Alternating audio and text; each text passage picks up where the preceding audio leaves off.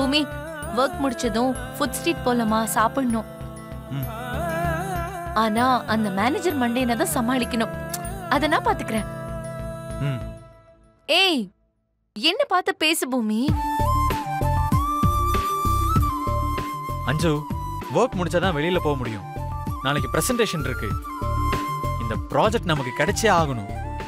அடப்போ நான் உன் கூட இருக்கணும் தான் காலேஜ்ல படிச்சேன். உனக்கு வேலை கிடைச்ச இதே கம்பெனில நானும் வேலைக்கு சேர்ந்தேன். எனக்கு ஒர்க் எல்லாம் பெரிய விஷயமே இல்ல. அண்ணா காஃபி வேணுமா? ஆ உனக்கு தான் கரெக்டா எனக்கு என்ன வேணும்னு தெரியுது. அதான் என் சிஸ்டர் குடு. நான் குடிக்கலாம்ல? ஓகே நீங்க குடிங்க. ம். நான் அண்ணனுக்கு வேற எடுத்துட்டு வரேன். ஆ, இல்ல கவிதா. அவனும் நானும் எல்லாமே ஷேர் பண்ணி தான் சாப்பிடுவோம். இதுவே போதும். ஆ நீ போய் ஒர்க் பாரு.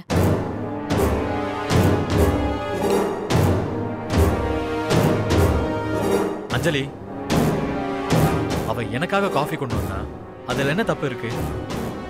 ஏன் அப்படி புடுங்குன? நான் என்ன பார்த்து பேசுன்னு சொன்னா ஒர்க் இருக்குன்னு சொன்ன. அவ காஃபி கொண்டு வந்ததும் அப்படியே ஓடுற.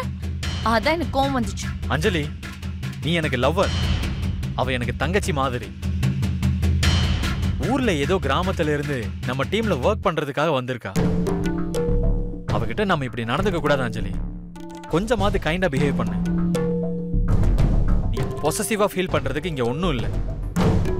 அவ எனக்கு தங்கச்சி மாதிரி. தமிழ் எப்படியோ கவிதாவும் எனக்கு அப்படிதான். நீ வேணா தங்கச்சின்னு நினைக்கலாம். அதுக்காக உன் அண்ணன் கூப்பிடுறவங்க எல்லாம் உன் அண்ணன் நினைப்பாங்கன்னு அர்த்தம் இல்லை.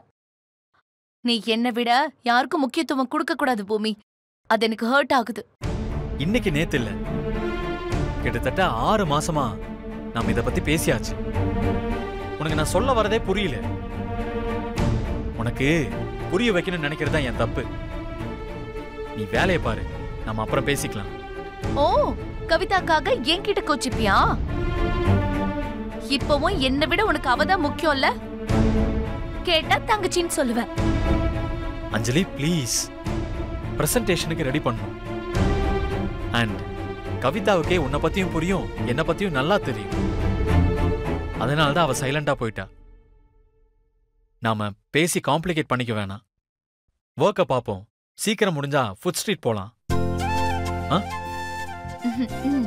That's my good boy